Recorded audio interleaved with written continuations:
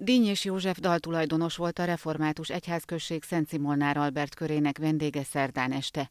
Az énekes, aki református kántor is, műsorában a 150 magyar nyelvű zsoltárból válogatott, amelyek eredeti, 400 éve ismert dallamukon csendültek fel gitárkísérettel.